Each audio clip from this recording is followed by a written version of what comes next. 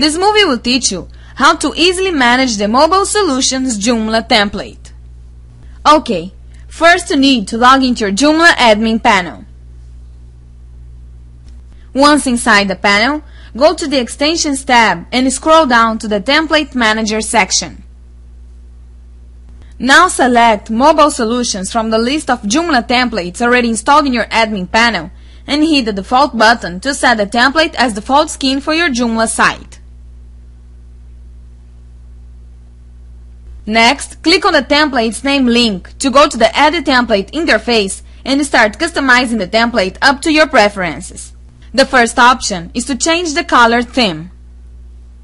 To preview the template with the blue theme on by default, click the preview link and open the template in a new tab.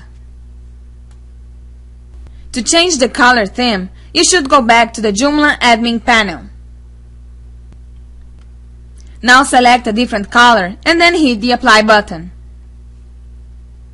Reload the browser to see the color theme update reflected online.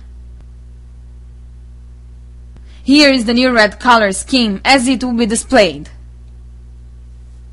You can also display or hide the logo on your template.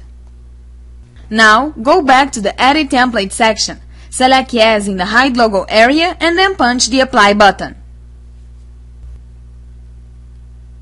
Next, go to the Template Preview page and reload your browser to see the logo area deactivated. The next option is to display or hide the banner image. Jump back to the Edit Template section, select Yes for the Hide Banner area and hit the Apply button. Reload the template preview page to see the banner image deactivated.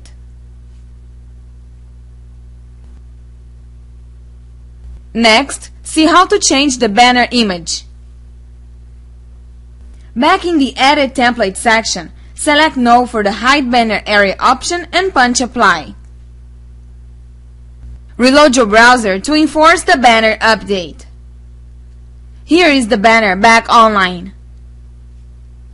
Go back to the Edit Template panel and select the desired banner image from the Banner Variation drop-down menu. Reload your browser and here it is. The new banner is now online.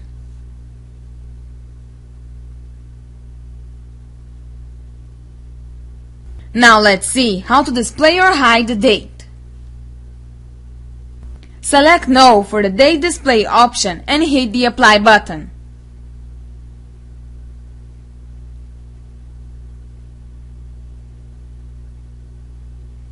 Now, refresh your browser to reflect the date display update online.